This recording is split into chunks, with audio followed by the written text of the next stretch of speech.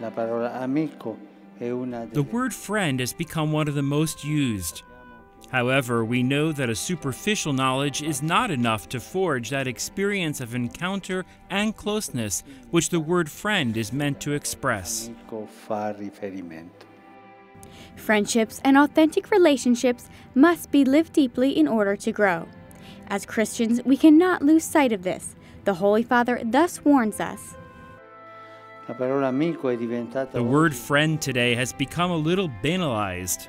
Living in urban settings, every day we come into contact with different people whom we often refer to as friends, but this is only a matter of speaking. ma è un modo di dire. Benedicat vos omnipotens Deus, Pater, et Filius, et Spiritus Sanctus. Amen.